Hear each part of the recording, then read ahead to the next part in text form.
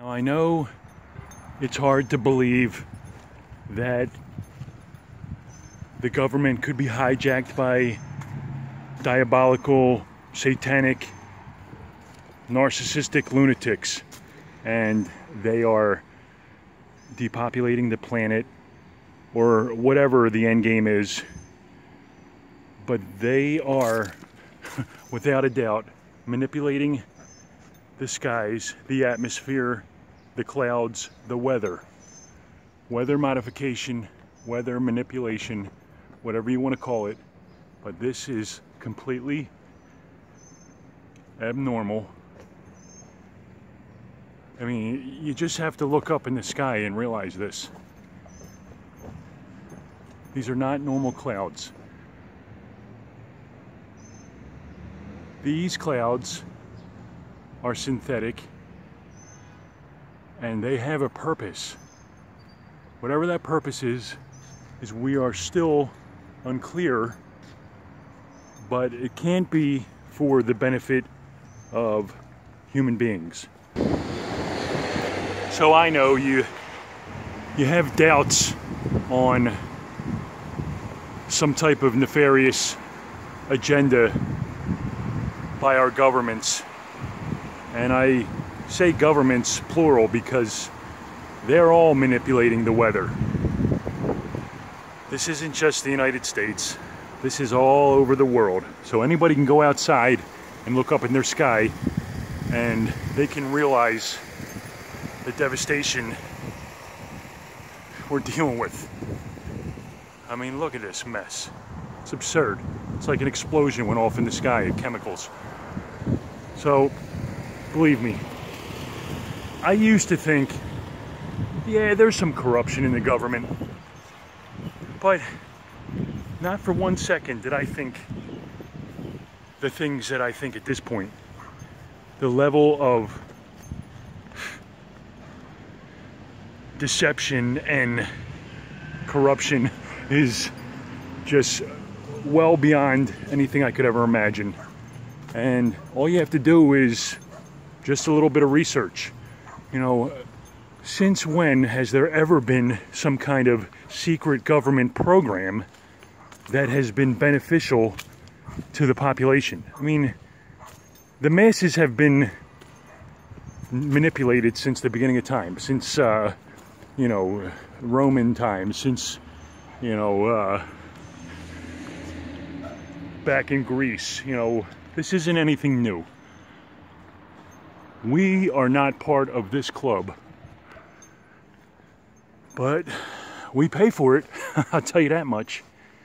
You know, one of the worst parts about us being uh, exterminated, sprayed, um, genetically modified, whatever you want to call it. Um, and I'm not only talking about the, the chemicals they're spraying in the sky, but uh, I lost my train of thought. But we need to wake up people.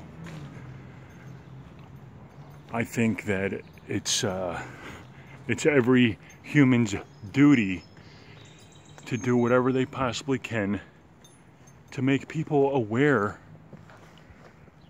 of these crimes against humanity.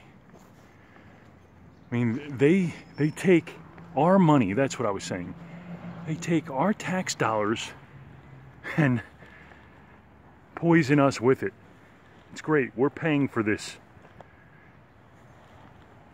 When is it going to be enough?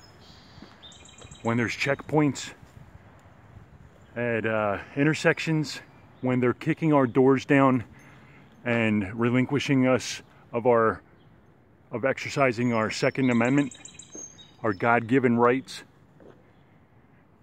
Are we going to lose free speech? Will we not be able to upload videos to the internet because of these bullshit bills that they're passing where they all of a sudden have uh, a supposed, uh, you know, brown bomber, you know, over the past 10, 20 years, there's been this predictive programming that the brown man from the Middle East is bad and is a terrorist. It's absolutely ridiculous. These people just want to live in peace, just like us.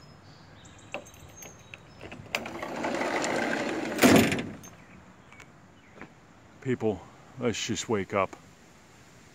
I mean, if you have to, you know, take somebody's phone or laptop and, you know, just write in chemtrails, send somebody a message, call somebody, and and see if you can, you know, explain a little to them. Uh, put out flyers.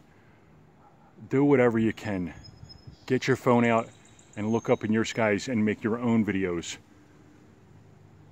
We are all one.